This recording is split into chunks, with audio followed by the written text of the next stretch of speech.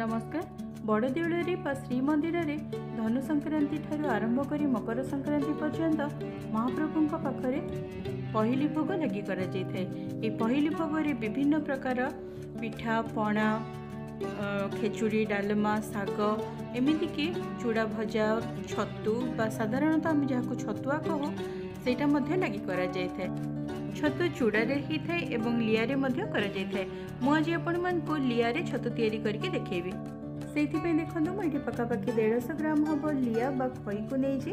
ସେଥିରୁ ଧାନ ଭଲ ଭାବରେ ବାଛିଦେଲା ପରେ ତାକୁ ଏଇଭଳି ଭାବରେ ଗୁଣ୍ଡ କରି ପୂର୍ବରୁ ମୁଁ ଆପଣମାନଙ୍କୁ ଯେଉଁ ଲିଆ ଖଜା କରିକି ଦେଖେଇଥିଲି ସେଥିରେ ଦେଖିଥିବେ ଦୁଇ ହାତରେ ଘଷି ଘଷିକି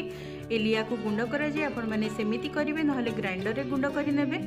ତାପରେ ଏଇଠି ଦେଖନ୍ତୁ ଶହେ ଗ୍ରାମ চিনিকু গুণ্ড করে নেই বড় দেউলের তো খণ্ডর ব্যবহার করা যায় আপনার ঘরে চিনিকু মধ্যে গুণ্ড করিকি দিয়ে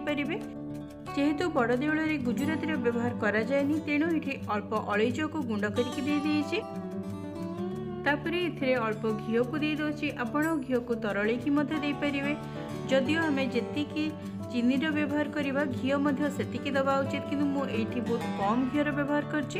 ଆପଣମାନେ ନିଜ ଇଚ୍ଛା ଅନୁସାରେ ଅଧିକ ଦେଇପାରିବେ ତାପରେ ଏହାକୁ ଏଇଭଳି ଭାବରେ ମିଶାଇକି ଗୋଟେରୁ ଦୁଇ ମିନିଟ୍ ପାଇଁ ଛାଡ଼ିଦେବେ କିଛି ସମୟ ରହିଗଲା ପରେ ଚିନି ଏବଂ